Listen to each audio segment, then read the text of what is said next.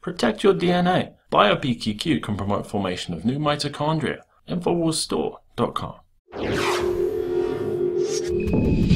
Well, as we covered on Sunday, pictures emerged of a massive army of migrants marching through Europe. As you can see from these pictures, these are thousands of immigrants who are marching through Slovenia. Of course, they're on their way to the pot of gold in Germany and Sweden for anyone that wants that can make it to those welfare states. They point out that they formed a single column as they crossed into the country from Croatia. And Slovenia's prime minister warned that the EU will break up if leaders cannot agree on how to deal with this crisis. This occurred nine days after Hungary sealed their border. Once they sealed their southern border, the immigrants just went to a different path. They went around that uh, Hungarian border. Now they're going through Slovenia, then through Croatia and into Germany and Sweden. That's precisely what we said. If you build a fence, that's not going to stop it as long as you have this incentive, this pot of gold that is being offered by countries like Germany, by Sweden, with their entitlement welfare system. The Prime Minister of Slovenia said if we don't find a solution today, if we don't do everything we can, then it is the end of the European Union as such. If we don't deliver concrete action, I believe Europe will start to fall apart. And they point out that since October 17th, more than 62,000 migrants have arrived in the tiny country of Slovenia, with some 14,000 still passing through the country that day alone, as you can see, as part of that army. So, what is the reaction to this? Well, as WND points out, the Islamic invasion is pulling a trigger. Europe is now scrambling for guns. They say Austrians are arming themselves at record rates in an effort to defend their households against feared attacks from Muslim invaders. And this is not theoretical. We're going to talk about what's going on with rapes in Sweden. They say tens of thousands of Muslim refugees have poured into Austria from Hungary and Slovenia, and of course, they're on their way to Germany and Sweden. Obtaining a working firearm and ammunition in Germany, Britain, Denmark, or the Netherlands is practically impossible for the average citizen, but the laws in Austria, while still strict, are a bit less overbearing, they report. A Czech TV report confirms that long guns, that is, shotguns and rifles, have been flying off the shelves in Austria, and Austrians who already haven't purchased a gun may not be able to get one because they are all sold out. And guess what? The people who are primarily buying the guns are women. Guns are the equalizer if you have to get into a fight. You don't want to depend upon your ability to fight someone who is larger than you, or you don't want to have to fight them if they've got a, a knife. He cites the Austrian news outlet Tiroler Tageszeitung as a source of the report, but we've also had reports from people who have traveled to the area, like Alan Gottlieb, executive vice president of the Second Amendment Foundation. He said, I just returned from a gun rights meeting in Belgium. I can attest that all over Europe, People now want the means to defend themselves, he told WND. He said self defense is no longer a dirty word. In countries like Austria, where it's still legal to own a firearm, gun sales are at record levels. I can tell you firsthand that the people in Europe now wish they had the Second Amendment. They hear the same thing from Larry Pratt, director of Gun Owners of America. And he said, Polish King John Sobieski defeated the Muslim invaders at the gates of Vienna in 1683. Another Muslim invasion is underway. Austrians are alarmed, and that's what's happening in the gun stores. Our article on Infowars.com from Kit Daniels points out that it's the Austrian women who are buying up the guns as migrant rapists are invading the country. He points out that the Austrian women are also buying up pepper spray in record numbers, further highlighting their fear of being attacked and raped by thousands of migrants flooding into the country from the Middle East and other areas. That is a well grounded fear. Look at what's going on in Sweden, the ultimate destination for many of these migrant workers.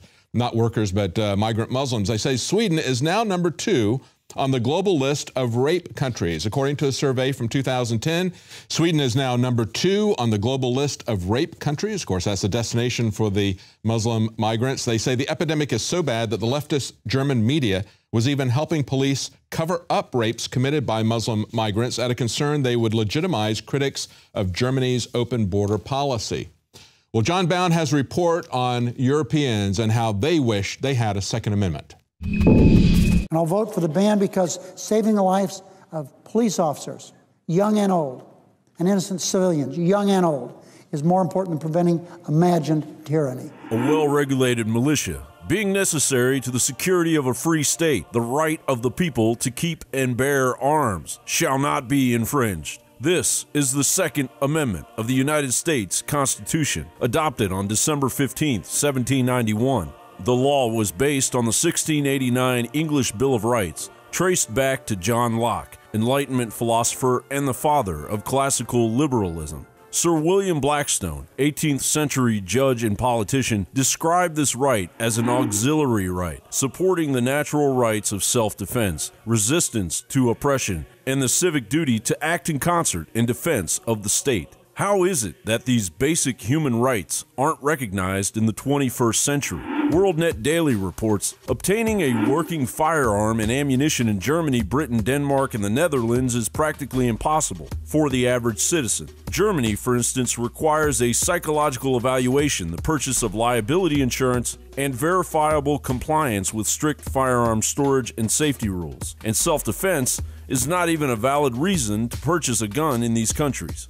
But in Austria, guns are flying off of the shelves, and the majority of buyers are women. Women fearing for their lives and the very real danger of being raped. European women are being terrorized. Sweden is the undisputed rape capital of Europe but refuses to even address the epidemic. CBN reports recent police statistics show that in the capital city of Oslo, Norway, 100% of assault rapes between strangers were committed by immigrant non Western males, and 9 out of 10 of their victims were native Norwegian women. To protect themselves, some blonde Norwegian women have reportedly begun dyeing their hair black, and many travel in groups. In Germany and England, a rape epidemic of thousands of young European girls is quietly underway by hordes of Muslim gangs as the New World Order puppets drop the blame on the very people being victimized citing Islamophobia as an excuse, an excuse that can only hide the truth for so long. WorldNet Daily reports Alan Gottlieb, Executive Vice President of the Second Amendment Foundation, said he recently returned from a gun rights event in Europe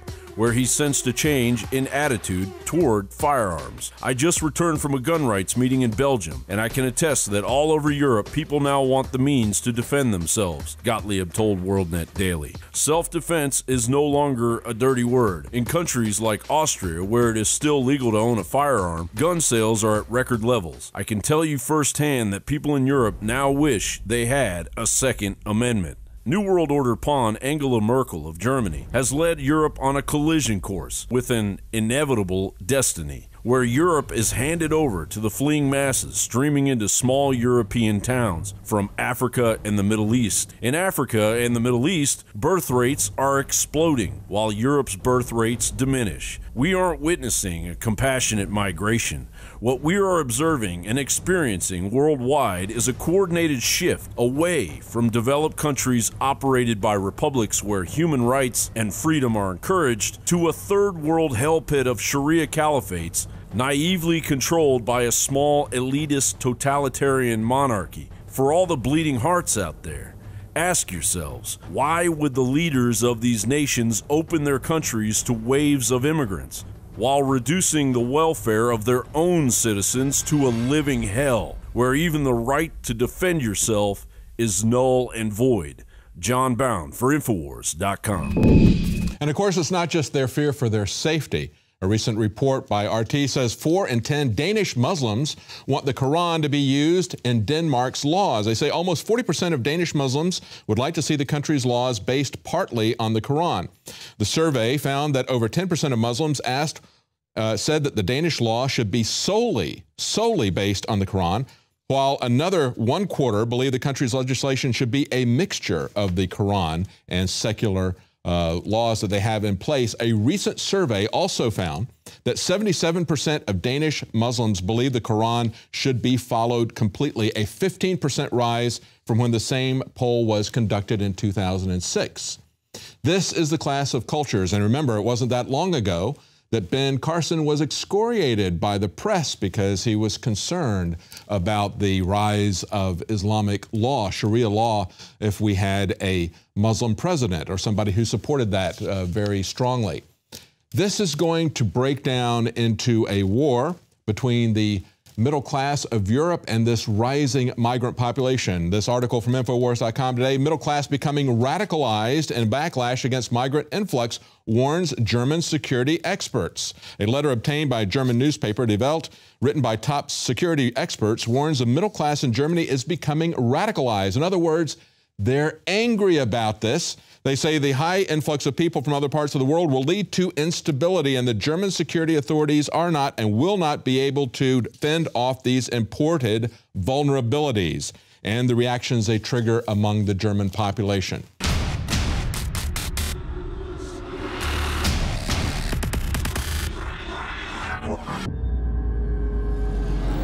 Brain Force is here.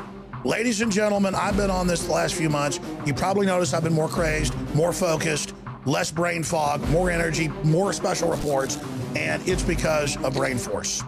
One of the worst things with most energy products is it's not sustainable, right? You're gonna crash and gonna feel really bad afterwards. This has a bunch of different antioxidants and compounds and polyphenols. Everybody's on these drugs to knock their brain out because the brain's so fried.